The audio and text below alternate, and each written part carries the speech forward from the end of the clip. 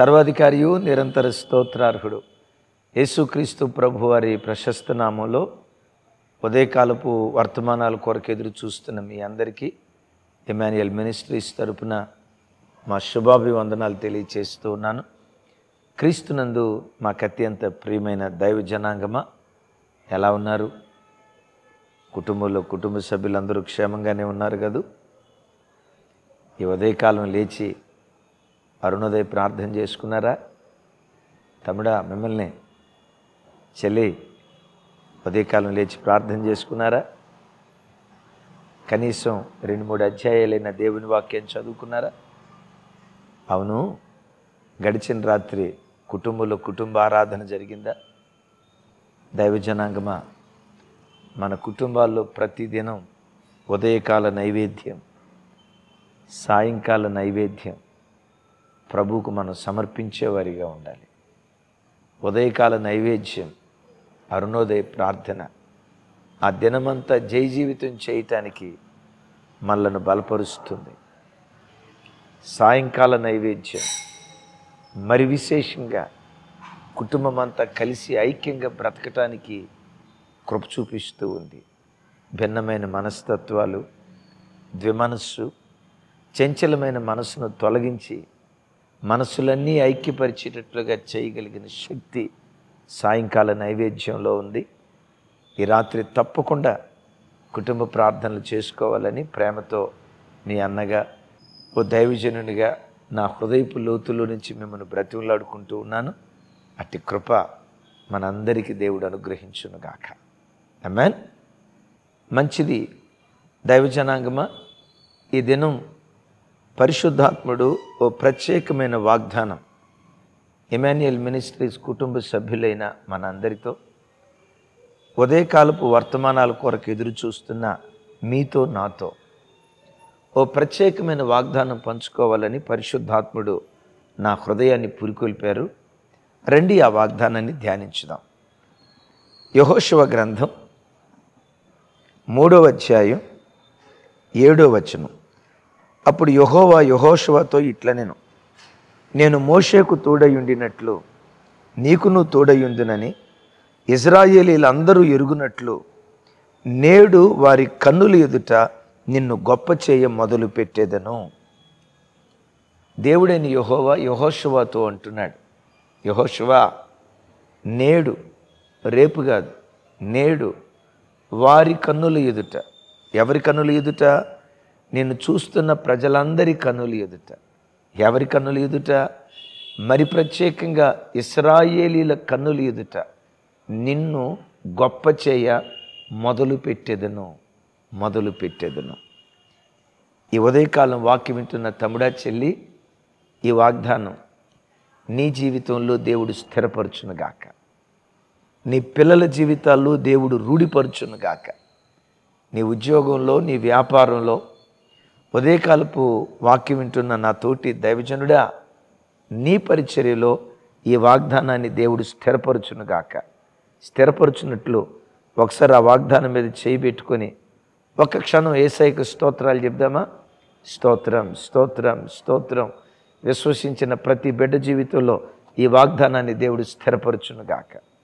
ఈ వాగ్దానాన్ని స్థిరపరచునుగాక. మీన్ ఏంటి వాగ్దానం? యహోవా యహోశవతో ఎలా అంటున్నాడు. యహోశవ అనే చోట తమ్ముడా నీ పేరు పెట్టుకుని నీ పిల్లల పేరు పెట్టుకుని ఈ వాగ్దానాన్ని స్వరమెత్తి ప్రవచించు. ఏమంటున్నాడు? వారి కన్నులు ఎదుట ఎవరి కన్నులు ఎదుట? ఇస్రాయేలీల కన్నులు ఎదుట. యహోశవ ఇస్రాయేలీల కన్నులు ఎదుట పుట్టాడు పెరిగాడు. మోషే తర్వాత నాయకుడయ్యాడు. సహజంగా యహోశవ నాయకుడైన తర్వాత ఇస్రాయేలీలు ఇలా అనుకొని ఉండొచ్చు. ఈ బచ్చాగాడ మనం నడిపించేది మోషే అంటే మోషే వయస్సు వేరు మోషే అనుభవం వేరు. మోషే ఐగుప్తు దేశంలో సకల విద్యలు అభ్యసించినవాడు. ఈ యహోశివ ఎవరు?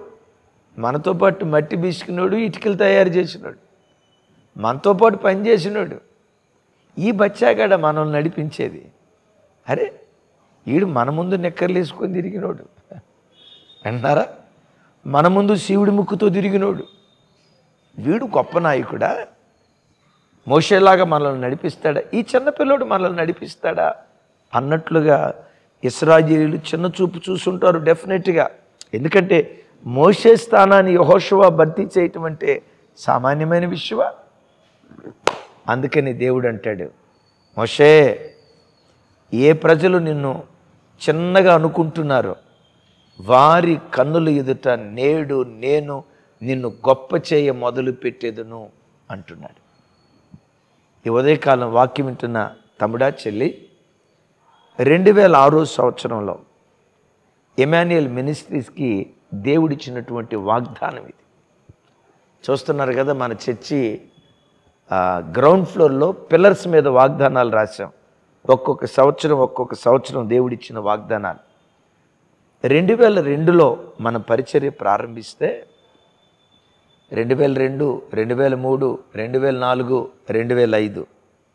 నాలుగు సంవత్సరాలు మానవ భాషలో చెప్పాలంటే అసలు బ్రతుకుతామో లేదో ఈ సేవా పోరాటంలో నిలవబడతామో లేదో పోరాడలేక సమిధులుగా మారిపోతామేమో ఓటమితో నిష్క్రమిస్తామేమో గుండెల నిండా భయంతో బ్రతుకుతున్న దినాలు.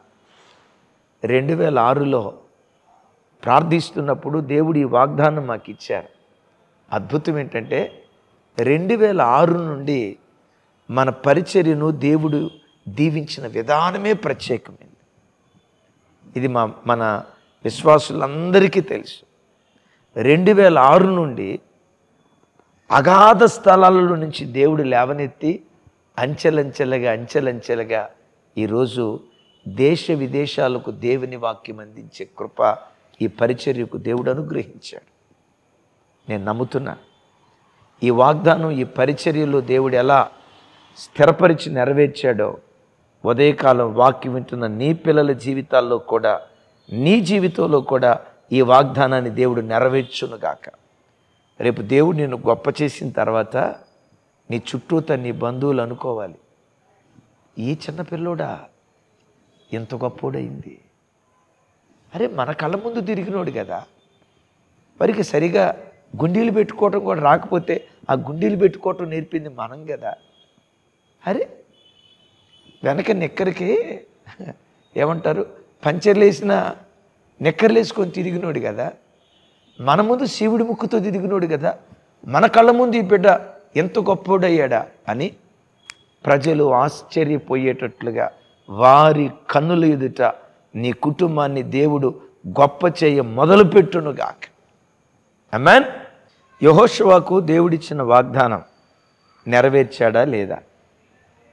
లేకపోతే దేవుడు కూడా దేవుడు కూడా రాజకీయ నాయకుల్లాగా ఎలక్షన్ ఎలక్షన్స్ టైంలో వాగ్దానాలు చేస్తారు కదా. కొండ మీద కోతిని దించుతా చందమామను భూమి మీదకి తీసుకొస్తా రకరకాల వాగ్దానాలు చేస్తారు కదా. గాలి మాటల్లాగా దేవుని మాటలు మిగిలాయా? రండి దేవుని వాక్యాన్ని ధ్యానించుదాం. యోహశివ గ్రంథం నాలుగో అధ్యాయం పద్నాలుగో వచనం. ఆ దినమున యహోవా ఇస్రాయేలీలందరి ఎదుట యహోశివాను గొప్ప చేసెను. గనుక వారు మోషోను గౌరవించినట్లు అతని బ్రతుకు దినములన్నిట గౌరవించిరి. గొప్ప చేయ మొదలు పెడతాను అని మూడవ అధ్యాయం ఏడవ వచనంలో అన్నారు కదా? నాలుగవ అధ్యాయం పద్నాలుగో వచనానికి వచ్చేసరికి గొప్ప చేసెను. వారు మోషను గౌరవించినట్లు అతని బ్రతుకు దినములన్నిట అతనిని గౌరవించిరి. తమ్ముడు వాగ్దానం చేసిన దేవుడు నమ్మదగినవాడు. రెండు వేల ఆరో సంవత్సరంలో మన పరిచర్యలో దేవుడు వాగ్దానం చేశాడు. దేవుని కృప ఇప్పటికీ ఆ వాగ్దానాన్ని ఎంతో నెరవేర్చాడు. ఈ వాక్యం వింటున్న నీ జీవితంలో కూడా. అమెన్ నీ జీవితంలో కూడా ఏ ప్రజల ఎదుట చిన్నవాడిగా కనపడ్డావో ఏ ప్రజల ఎదుట స్వల్పమైన వాడిగా కనపడ్డావో ఏ ప్రజల ఎదుట సాధారణమైన వ్యక్తిగా కనపడ్డావో వారి కళ్ళ మధ్య ఓ అసాధారణమైన వ్యక్తిగా ఒక అద్భుతమైన వ్యక్తిగా దేవుని వింతలకు విచిత్రాలకు మహత్కార్యాలకు వేదికగా నీ కుటుంబాన్ని నీ పిల్లలను నా దేవుడు నిలవబెట్టునుగాక. అమెన్ యహోశువను దేవుడు అంత గొప్ప చేయటానికి ఆరు లక్షల మంది ఇస్రాయేలీల కాల్బలంలో ఆల్మోస్ట్ నలభై లక్షల మంది ఇస్రాయేలు ప్రజల మధ్యలో ఒక్క యహోశువ అనే దేవుడు చూస్ చేసుకోవటానికి ఎన్నుకోవటానికి ఏం చూశాడు యహోషవాలో దేవుడు? నిన్ను ఓ ప్రత్యేకమైన వాడిగా దేవుని మహాత్కార్యాలకు వేదికగా నీ కుటుంబాన్ని దేవుడు నిలవబెట్టాలంటే నీలో దేవుడు ఏం చూడాలి? ఈరోజు ఒక మాట చెప్తాను. యహోశివ గ్రంథం మొదటి అధ్యాయం మొదటి వచనం మీతో పంచుకుంటాను. యహోవా సేవకుడైన మోష మృతి పొందిన తర్వాత యహోవా నూను కుమారుడును మోషే పరిచారకుడునైన యహోశువాతో ఇలాగు సెలవిచ్చాను. విన్నారా? యహోశువాను గురించి రాయబడిన మాట నూను కుమారుడైన యహోశువా ఎవరి కుమారుడట? ఎస్. యహోశువ తండ్రి పేరు నూను. నూను. అంటే చేప అని అర్థం. విన్నారా? నూనె అంటే నువ్వులు కాదు. సహజంగా నూగులు అంటాం కదా మనం? కాదు కాదు. నూను అనే పేరుకున్న అర్థం ఏంటంటే చేప. అంటే చేపకు పుట్టిన కుమారుడు. దైవజన్మ సృష్టిలో ఉన్న జీవరాశులన్నిటిలో చేప ఓ ప్రత్యేకమైనది. ప్రవాహపు వరవడిలో పర్వతాలు కొట్టుకొని పోతాయి. కొండ చిలువలు కొట్టుకొని పోతాయి. చెట్లు కొట్టుకొని పోతాయి. గొప్ప గొప్ప కట్టడాలు నిర్మాణాలు ప్రవాహానికి కొట్టుకొని పోతాయి. ఈ సృష్టిలో ప్రవాహానికి ఎదురేదగలిగిన ఒకే ఒక్క జీవి చాప చాప చాప. ప్రవాహానికి అన్నీ కొట్టుకొని పోతాయి. కదా? చెట్లు కొట్టుకొని పోతాయి. చివరికి పర్వతాలు కూడా సమభూమిగా మారిపోతాయి. గొప్ప గొప్ప నిర్మాణాలు అంతస్తులు గొప్పలాగా కూలిపోతాయి. ఈ సృష్టిలో ఒక విచిత్రం ఏంటంటే కేవలం ఒక చేప మాత్రమే ప్రవాహం ఎంత ఒరవడితో వస్తున్నా ప్రవాహాన్ని ఈ- ఎదిరి ప్రవాహాన్ని ఎదిరించి ఎదురీదుతూ ప్రవాహాన్ని ఢీకొంటూ ఎదురు ఏదగలిగిన ఒకే ఒక్క జీవి చేప. తమ్ముడా చెల్లి ఓ వింతైన కార్యం దేవుడు నీ బ్రతుకులో చేయాలంటే ప్రవాహంలో కొట్టుకొని పోకు. ఆహా. చేపలాగా ప్రవాహానికి ఎదురీదు. ప్రవాహం దేని గుర్తు తెలుసా? రెండు. ఒకటి లోకానికి గుర్తు. రెండు పోరాటాలకు గుర్తు. లోకమంతా పాపమనే లోకపు ప్రవాహంలో కొట్టుకొని పోతుంది. ఎస్ ఫ్యాషన్లనే ప్రవాహంలో కొట్టుకొని పోతుంది. అపవిత్రత కాముకత్వము మద్యపానము రకరకాల ఆశాయిచ్చలనే ప్రవాహంలో అనేక మంది యవన బిడ్డలు కొట్టుకొని పోతున్నారు. దైవజనమా విచిత్రం ఏంటో తెలుసా? ఈ చేప మాత్రం. అయితే ఒకటి గమనించండి. చచ్చిన చేప ఉంది ప్రవాహాన్ని కొట్టుకొని పోద్ది. బ్రతికిన చేప మాత్రం ప్రవాహానికి ఎదురీది వెళ్తుంది దైవజనుడైన యహోశవ కూడా తన యవ్వన కాలంలో ఇస్రాయేలీలంతా తినుచు త్రాగుచు తందనాలాడుతూ విచ్చలివిడిగా బ్రతుకుతూ లోకపు ప్రవాహంలో కొట్టుకొని పోతూ ఉంటే యవనస్తుడైన యహోశవ మాత్రం ఆ అపవిత్రపు మరకలు తన కంటకుండా మీరు ఎరుగుదురా సినాయి పర్వత శిఖరం క్రింద ఆరు లక్షల మంది ఇస్రాయిలు ప్రజలు తినుతూ తాగుతూ తందనాలు ఆడుతూ ఉన్నారు. సినాయి పర్వత శిఖరం మీద శిఖరం మీద దైవజనుడైన మోష ఉన్నాడు. యహోశవ ఎక్కడున్నాడో తెలుసా?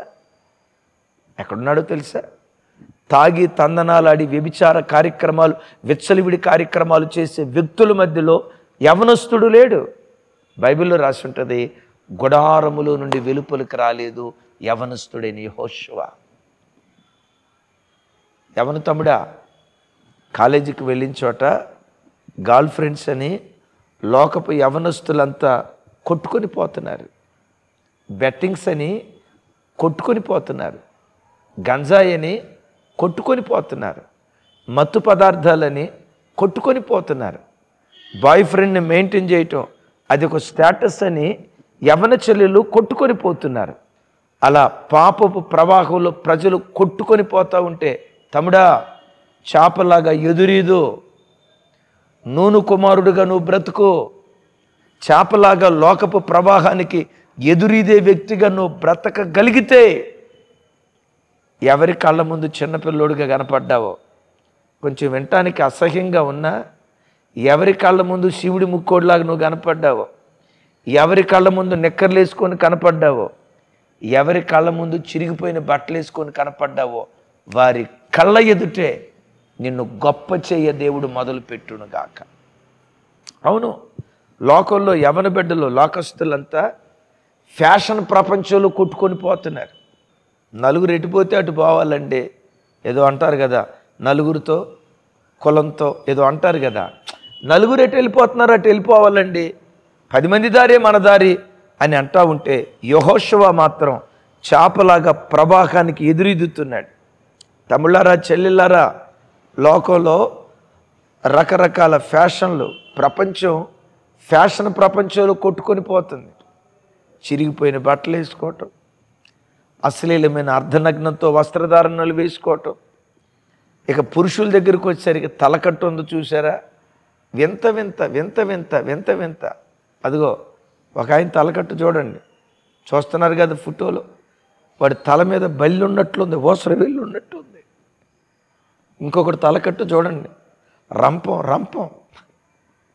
ఇంకొకటి తలకట్టు చూడండి. నెమలి పింఛం పెట్టుకున్నట్టున్నాడు. చూడండి. ఇంకొకటి తలకట్టు ఎంత వెరైటీగా ఉందో చూడండి. వాళ్ళ నాన్నకేమో బట్టతల పైన ఊడిపోయింది. వాడేం చేశాడో తెలుసా? కింద తీసి పైన పెట్టాడు టోపీ పెట్టాడు. చూడండి. ఫ్యాషన్ ప్రపంచంలో లోకం కొట్టుకొని పోతుంది. క్రైస్తవుడా! దైవజనమా లోకం వెంట నీ వెళ్ళకూడదు. నీ యేసుక్రీస్తుని గురించి సవాలుతో కూడుకున్న ఒక మాట చెప్తాను. చూడండి ఆ మాట. యోహన్ సువార్త. అందరూ చూడండి. పన్నెండవ అధ్యాయం పంతొమ్మిదో వచ్చిన మీతో పంచుకుంటాను. యోహాన్ సువార్త పన్నెండవ అధ్యాయం ఎస్ పంతొమ్మిదో వచ్చిన కావున పరిచయులు ఒకరితో ఒకరు మన ప్రయత్నములు ఇట్లు నిష్ప్ర నిష్ప్రయోజనములైపోయినవో చూడుడి. ఇదిగో లోకము ఆయన వెంట పోవుచున్నదని చెప్పుకునిది ఏంటంట? లోకం వెంట ప్రభు వెళ్ళలా. లోకపు ఫ్యాషన్ ప్రపంచం వెంట ప్రభు వెళ్ళలా. లోకపు పాపం వెంట ప్రభు వెళ్ళలా. చేపలాగా ప్రవాహానికి ఎదురీదాడు. వాక్యం ఏమంటుందో తెలుసా? లోకం ఆయన వెంట వెళ్ళలేదు కానీ లోకమే ఆయన వెంట వెళ్ళెను అని రాస్తుంది తమ్ముడు లోకం లోక పోకడ వైపుని వెళ్ళొద్దు. You are unique you are special in the sight of God ఎప్పుడు నువ్వు ప్రత్యేకంగా ఉండి. లోకపు ప్రపంచంలో కొట్టుకొని పోకు. యహోశవ ప్రవాహానికి ఎదురీదేడు. ఓ ప్రత్యేకంగా బ్రతికాడు గనుక వారి కన్నుల ఎదుట యహోశవను దేవుడు గొప్ప చేశాడు. నీ ఆరాధ్య దైవం ప్రభు అయిన యేసుక్రీస్తు వారు. ప్రపంచంలో ఆయనని మించిన గొప్పోళ్ళు ఎవరు? గొప్పతనానికి ఆయన కిరీటం మకుటము లేని మహారాజు. ప్రపంచమంతా ఆయన ఎదుటి ఈరోజు సాగిలు పడుతుంది. ఎంత గొప్ప గణనీయునిగా ఎందుకు ఆయన మారిపోయాడో తెలుసా? లోకం వెంట వెళ్ళలా? ఆహా! ఫ్యాషన్ ప్రపంచంలో ప్రభు కొట్టుకొని పోలా? ప్రవాహానికి ఎదురీదేడు ఒక్కడే ఒక్కడే ఒంటరిగా ద్రాక్ష గానుగు తొక్కాడు. ఈరోజు ఏమైపోయింది? ప్రపంచమే యేసు ఏసు ఏసు అంటూ ఏసు వెంట పరిగెత్తుతూ ఉంది. దైవజనమా ప్రవాహం దేని గుర్తు? శ్రమలకు పోరాటాలకు కన్నీటి అనుభవాలకు కలవరాలకు గుర్తు. నువ్వు ప్రభువులో దేవునికి సాక్షిగా యహోశవలాగా నువ్వు నిలవబడ్డా కొన్ని పోరాటాలు నీకు ఎదురవుతాయి. ఎస్ నేనంట బైబిల్లో పోరాటాలు లేని వ్యక్తి ఎవరు? నీ ఆరాధ్య దైవం ప్రభు అయిన యేసుక్రీస్తు వారు ఎన్ని పోరాటాలు ఎదుర్కోలేదు? పోరాటాలను చూసి వాళ్ళు భయపడి పారిపోలేదు సుమి. ఆహా! పారిపోలేదు. ఏం చేశారో తెలుసా? చేపలాగా ప్రవాహానికి ఎదురొడ్డి సమస్యలకు ఎదురొడ్డి కన్నీటి అనుభవాలకు ఎదురొడ్డి అవమానాలకు నిందలకు కన్నీటి అనుభవాలకు ఎదురెడ్డి వాళ్ళు ఎదురు ప్రవహిస్తూ సారీ ఎదురు పోరాడుతూ వెళ్ళారు. అపోస్తుడైన పౌలు పౌలు పౌలు అంటాం కదా ఎన్ని పోరాటాలు. ఆయన పోరాటాలను గురించి చదివితే కన్నీళ్ళు వస్తాయి. ఒక మాట గుర్తుకు తెస్తా. ఒక స్థలంలో అంటాడు రోమపత్రిక రాస్తూ ఎనిమిదో అధ్యాయం. చూడండి. రోమిలికి రాసిన పత్రిక ఎనిమిదో అధ్యాయం. అపోస్తులైన పౌలు గారు తన అనుభవాలు చెప్తూ అంటాడు. ఎనిమిదో అధ్యాయం ముప్పై ఐదో వచనం నుంచి చదువుతాను. క్రీస్తు యేసు ప్రేమ నుండి ఎడబాపు వాడెవడు? శ్రమ అయిన బాధ అయిన హింస అయిన కరువైన వస్త్రహీనతైన ఉపద్రవమైన ఖడ్గమైన మనలను ఎడబాపునా? దినమెల్లా వధించబడుచు ఉన్నాం. అలా చెప్తూ చెప్తూ చెప్తూ క్రీస్తు యేసు ప్రేమ నుండి మనలను ఎడబాపు వాడెవడు అంటాడు. నేనంట తమ్ముడు నాకు శ్రమలు వచ్చాయి శ్రమలు వచ్చాయి అని కృంగిపోయి ప్రార్థన మానేసావు కదూ? శ్రమలు వచ్చాయి శ్రమలు వచ్చాయని దేవుని స్థుతించడం ఆపేసావు కదూ? శ్రమలు వచ్చాయి శ్రమలు వచ్చాయని విశ్వాసంలో కృంగిపోతున్నావు కదూ? పౌలు జీవితంలో ఎదురైన శ్రమల్లో నీకు నాకు ఎన్ని శ్రమలు ఎదురయ్యాయి దినమెల్ల వధించబడుతున్నాడట దినమెల్లా. చనిపోయే ఆఖరి క్షణం వరకు వధించబడుతూనే ఉన్నాడు పౌలు. ఎన్ని పోరాటాలు అంటాడు. శ్రమయైన బాధైన కరువైన వస్త్రహీనతైన ఖడ్గమైన ఉపద్రవాలైన తినటానికి తిండి దొరకలేదండి పౌలకి. ఒకే జత బట్టతో కొన్ని ఒకే జత బట్టతో కొన్ని నెలల పాటు సేవ చేశాడండి పౌలు. మారుజాత బట్టలేక బట్ట లేక దిగంబరిగా గడిపాడండి పౌలు. ఎన్ని పోరాటాలు ఎదురయ్యాయి? ఎన్ని ప్రవాహాలు తనకు ఎదురొచ్చినా భయపడి పారిపోలా చావాలనుకోలా నేను చస్తే పోయిద్దిలే. నాలాంటి వాడు ఎందుకు బ్రతకాలనుకోలా నూను కుమారుడులాగా నూను కుమారుడులాగా ప్రవాహానికి చాపలాగా ఎదురీదుతూ వెళ్ళాడు. ఎస్ ఈరోజు ప్రపంచ క్రైస్తవ మానవాళికి ఒక ధ్రువతారగా నిలవబడ్డాడు. ఏ సేవకుని ఈరోజు అడిగినా అయ్యా బైబిల్లో ఏ సేవకుల్లాగా నువ్వు సేవ చేయాలనుకుంటావు? అని అడిగితే ఏ సేవకుని అడిగినా టకమని చెప్పే మాట ఏంటో తెలుసా? ఈ తరపు పౌలులాగా సేవ చేయాలి. ప్రతి సేవకుని డ్రీమ్ ఎ లెజెండ్ డ్రీమ్. అంత గొప్పోడు ఎందుకు అయ్యాడు తెలుసా? ప్రవాహాలు రాక కాదు. ప్రవాహాలు వచ్చినా ఎదురీదుకుంటూ వెళ్ళాడు. తమ్ముడా చెల్లి మా సేవా జీవితంలో ఎన్నో పోరాటాలు. సేవకురాలికి నాకు మేము అనుభవించిన పోరాటాలు మా విశ్వాసులను అడగండి. ఆ బిడ్డలు చెప్తారు. కన్నీటి అనుభవాలు. మేము నిలవబడలేదు కానీ వాగ్దానం చేసిన ఆ నమ్మదగిన దేవుడు ఉన్నాడే. ప్రవాహాలకు భయపడి పారిపోకుండా ఎదురెదటానికి ప్రభు కృప చూపించాడు.